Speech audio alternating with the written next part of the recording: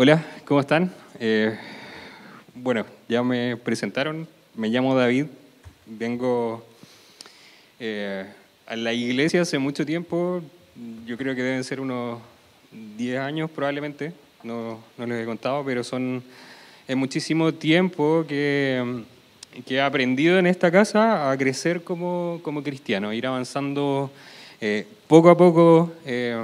Moldear mi carácter al, al, carácter de Cristo es difícil, súper difícil, pero paso a paso.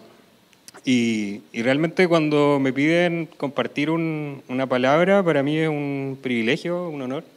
Eh, el Franklin, bueno, yo vine el miércoles pasado y el domingo vi la predicación por, por las redes sociales y eh, él mencionó que iba a repetirse como el plato, el plato de arroz. A mí me gusta mucho el, el arroz, así que no, no tengo problema en, en, en, ver, ver y seguir viendo las mismas predicaciones. Pero cuando vine el día miércoles, eh, una de las cosas que vino a mi corazón eh, es lo que les voy a compartir hoy día, sin pensar que me iban a pedir eh, predicarles. Y um, quiero orar un momento. Eh, Padre, te damos gracias por este tiempo, Señor. Gracias por, porque tú eres bueno, Señor. Y particularmente hoy día te doy gracias por tu provisión, Señor, sobrenatural, Señor. Y, te pido que tu Espíritu Santo venga, Señor, que, que esta palabra caiga en, en, un terreno fértil, Señor, que en un tiempo de frutos, Señor, y frutos en, a, en abundancia, Señor, sobre mi hermano. Eh, gracias, papá.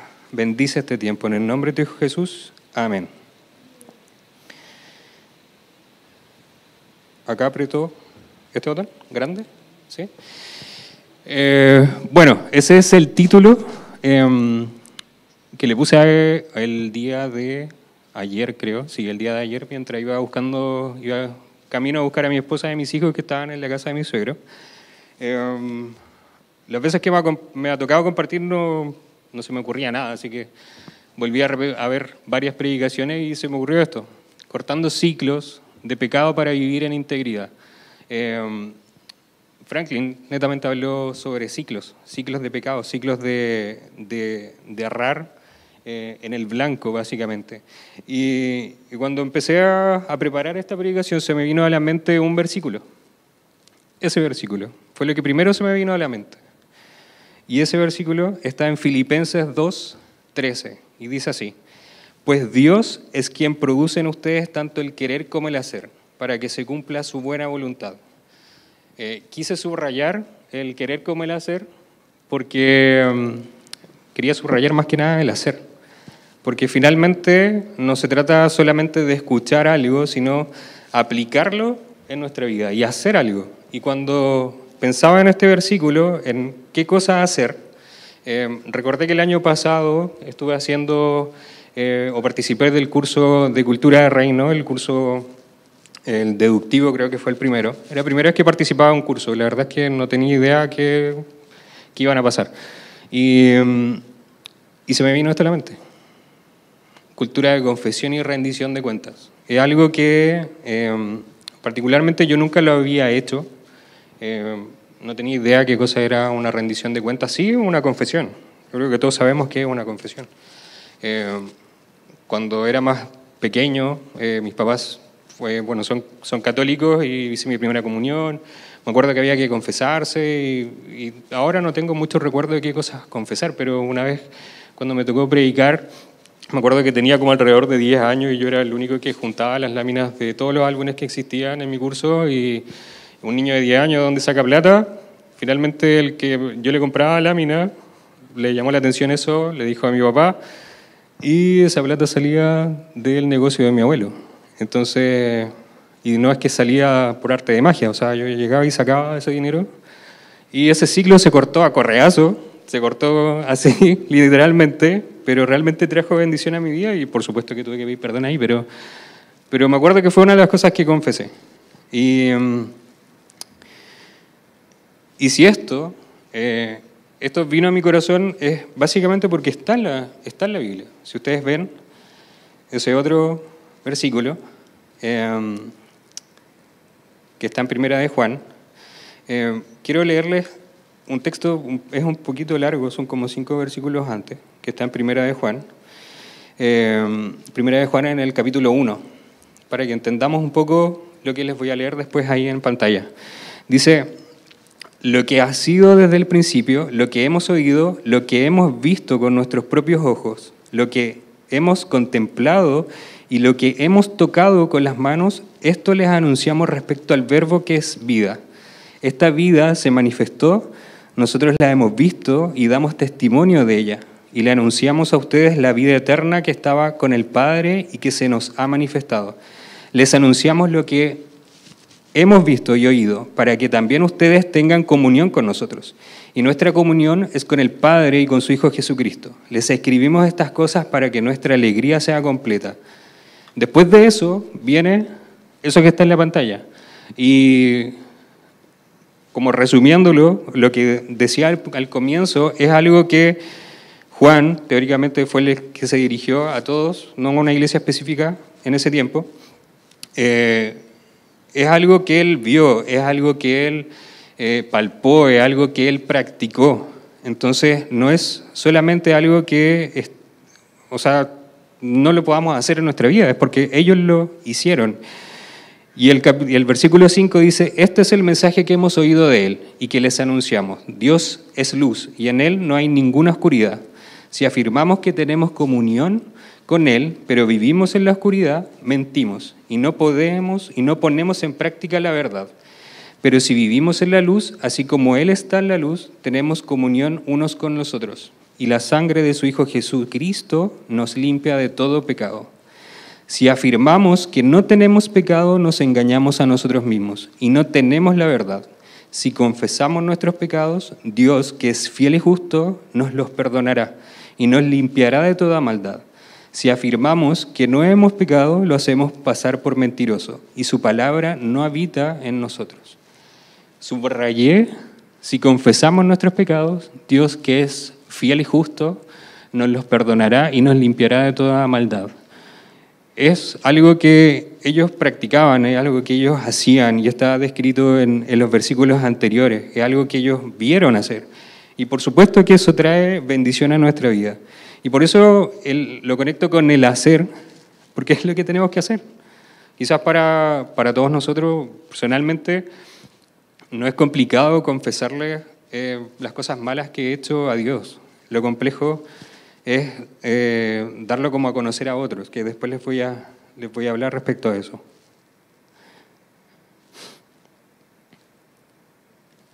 Porque primero le mencioné lo que es como confesar algo, algo malo o algo bueno puede ser, a Dios, pero aquí en Santiago 5.13 dice algo muy parecido, ¿ya? Pero acá la confesión está dirigida a, otra, a, otro, a otro lado, y dice así, en Santiago 5, 16, ¿está afligido alguno entre ustedes que ore? ¿Está alguno de buen ánimo que canta alabanzas? ¿Está enfermo alguno de ustedes? Haga llamar a los ancianos de la iglesia para que oren por él y lo unjan con aceite en el nombre del Señor. La oración de fe sanará al enfermo y el Señor lo levantará. Y si ha pecado, su pecado se le perdonará. Por eso confiésense unos a otros sus pecados y oren unos por otros para que sean sanados. La oración del justo es poderosa y eficaz. Esta parte es una parte que hasta el año pasado no lo había puesto en práctica en mi vida. Eh, para mí, que estoy casado, resultaba un poco, eh, no encontraba como mucho sentido confesarle mis pecados a otra persona ajena a mi esposa. Mi esposa es la que mejor me conoce, la que conoce todos mis defectos y todas mis virtudes. Pero aún así, eh, hay cosas que particularmente quizás de hombre, es bueno conversarlo con alguien más. Y, y en ese tiempo yo, yo le mencioné al Alex que estaba guiando esta predicación, esta enseñanza, dije, mira, esto yo lo voy a hacer netamente por obediencia, nada, nada más que eso. Lo voy a hacer porque me metí en este curso y, ok, bueno, Dios me estará hablando por algo, así que lo voy a hacer. Y el Franklin mencionó que es importante eh, que la iglesia eh, sea como un... Eh, como una red de apoyo también. Quizás él hablaba de no comentarles como a todo el mundo, sino buscar una persona idónea, una persona que espiritualmente sea madura, que uno sepa que las cosas que uno vive van a quedar ahí. Y es netamente para agregar valor a tu vida. No es por un tema para exponerte, para, para a pesar de igual sientes vergüenza, ¿ya? Pero, pero queda ahí, es un, es un lugar súper íntimo y súper eh, profundo y súper liberador.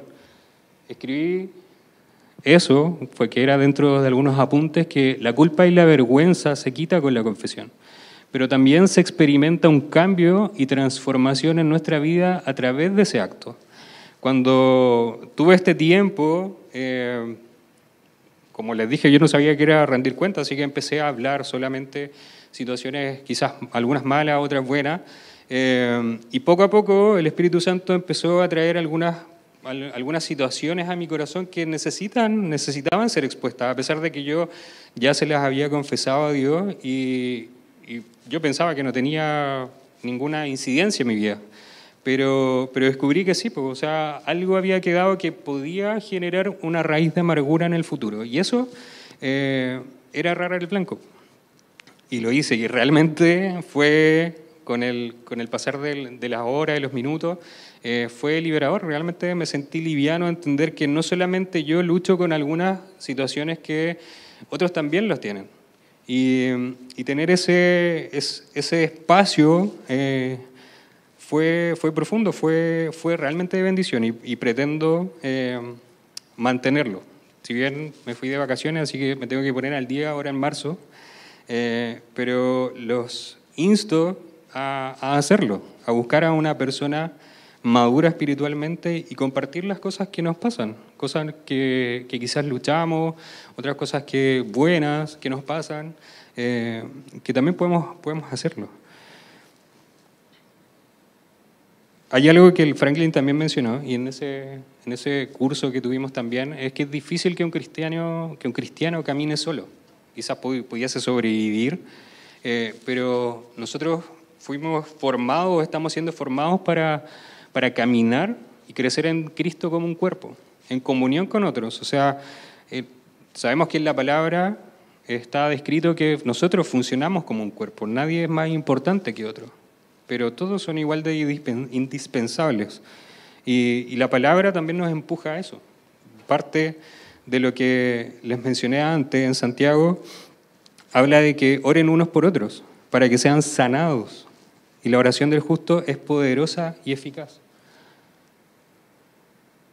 En Hebreos 3 eh, dice lo siguiente, Cuídense, hermanos, de que ninguno de ustedes tenga un corazón pecaminoso e incrédulo que los haga apartarse del Dios vivo. Más bien, mientras dure ese hoy, anímense unos a otros cada día, para que ninguno de ustedes se endurezca por el engaño del pecado.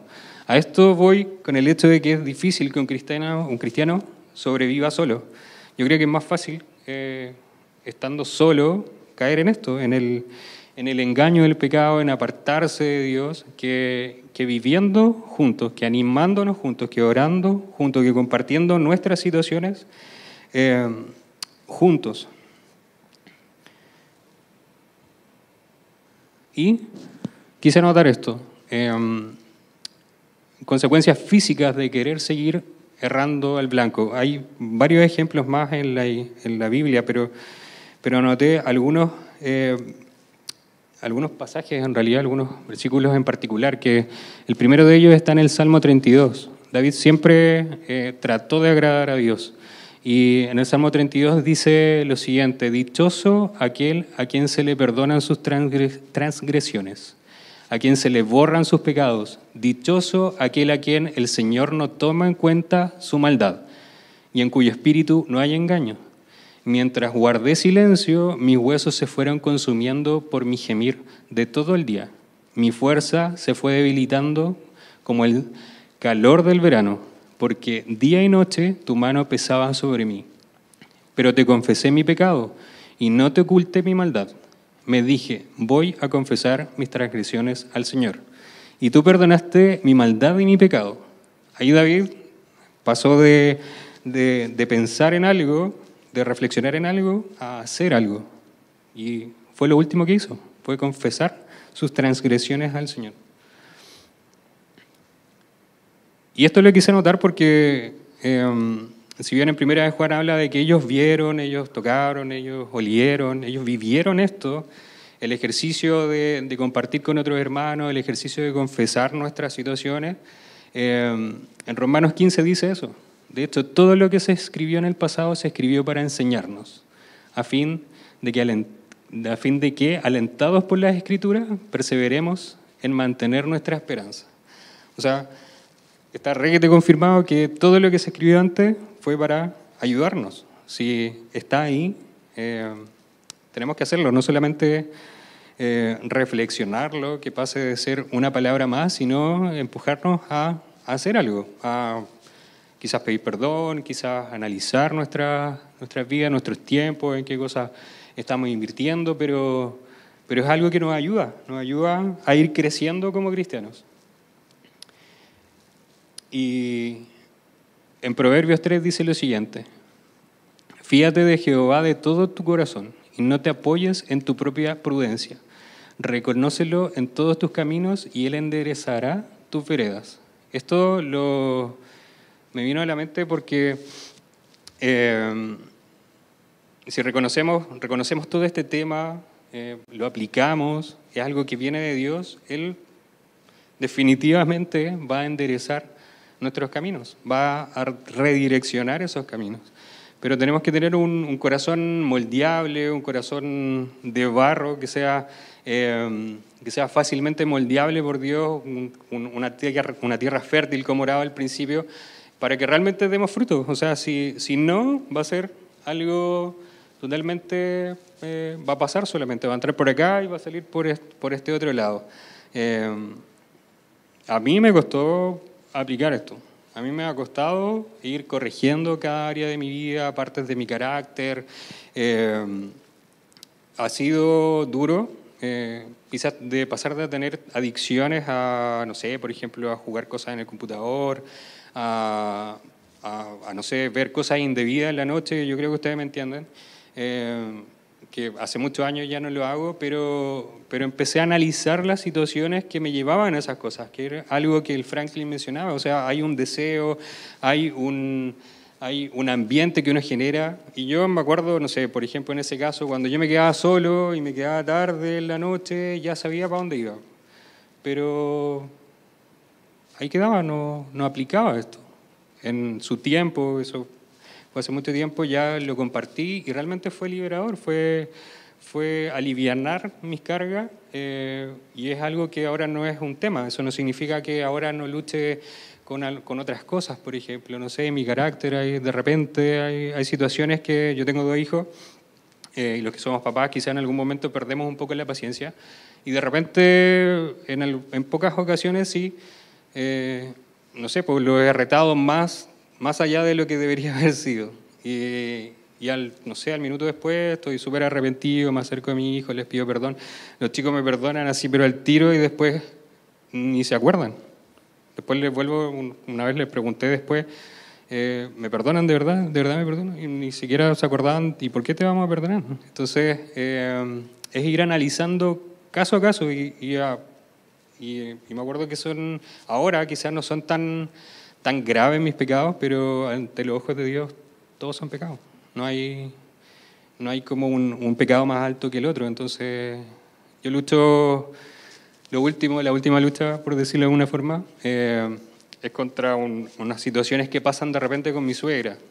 No sé si seré yo, pero como que tengo anticuerpos contra mi suegra, una cosa así. No sé si seré yo, la verdad. Y, y realmente he estado orando por eso. En, en algunas ocasiones tenemos tiempos súper lindos, súper buenos de conversación y, otras y otras veces no, pero, pero el fin de semana pasó una situación en donde había que aplicar perdón al tiro. Y, y o sea, instaba como a, a, mi, a mi, esposa a que, no sé si no lo hiciera, sino que eh, esperara que, que iba a ser mi suegra. Claro, y claro, conversaron y todo el, todo el, tema, pero yo le decía a la Cami, ¿pero te pidió perdón o no? Debería haberte pedido perdón, pues si ella se equivocó, por decirlo de alguna forma. Pero después me pegué la cachada de que en realidad no es así, pues, o sea, yo también debería haber extendido perdón inmediatamente y sin condiciones. Pues. Y bueno, corregí esa cosa. Y así con un montón de otras situaciones más. Eh, cuando empezó la pandemia, Eh, bueno, yo, los que me conocen, soy kinesiólogo y tomamos más de 3.000 PCR hasta la fecha. Eh, y en una situación estuve con una funcionaria en, la puerta y yo tenía que hacer otro montón de cosas y la dejé sola, y una señora ya de edad. Y um, ella tenía que tomar la temperatura y todo el tema, los que han ido a algún, algún. Bueno, la cosa que yo me puse a hacer lo que tenía que hacer y me desaparecí de la puerta, porque después ella llegó y me tiró el termómetro como a la una, a la hora del almuerzo. Me pareció una falta de respeto, la verdad, pero no le dije nada. Y después de eso, eh, pasaron, pasaron la hora, estábamos a, pronto a salir, y le dije, ¿sabe qué? Lo que usted me hizo fue una falta de respeto, no debería haber hecho eso y toda la cuestión. De hecho, se fue ante la puerta y todo el cuento. Y, después ya me dice, ¿sabes qué? Lo que pasa es que me tuve que ir porque mi hermano está en Temuco, está en la UCI porque se contagió con COVID y eh, está súper grave. Entonces ahí sentí un cachetazo de parte de Dios que eh, debería haber corregido eso, pues debería haber quizás compartido con ella. Y le pedí perdón ahí mismo, eh, oramos juntos, lloró un montón, ¿ya? Gracias a Dios, él se sanó a las dos semanas. Estaba intubado, estaba intubado y yo tuve la oportunidad de ver a mucha gente joven que llegaba al servicio de urgencia eh, como si hubieran subido una tremenda montaña y boca abajo y listos para intubar y todo el tema. Eh, pero esa situación me ayudó como a, a ir corrigiendo eh, mi carácter, ir, ir eh, corrigiendo, no, no seguir como errando en el blanco. O, y, y, realmente me ayudó, realmente trajo bendición a mi vida y, y la relación que tengo con, con ella, una relación eh, laboral, pero, pero fue distinto, el ambiente fue distinto, el, el pedir perdón, el cortar ese ciclo eh, fue bueno, fue bueno y, y creo que eso nomás tengo. Sí, creo que sí. Y, eh, realmente la, el, tema que, el tema de hoy era eso, era, era qué cosas hacer para cortar ese ciclo, ese ciclo de, del pecado, ese ciclo de seguir errando el blanco, de ir analizando eh, nuestra vida, que seamos expuestos, que nuestro corazón sea expuesto a, a, Dios y, y que, que, nos analice cada cosa, cada cosa, porque estoy seguro que no solamente soy yo el que me equivoco quizás diariamente. Eh, y realmente tenía, tenía esto en mente, que no sé si oro un ratito. ¿Sí?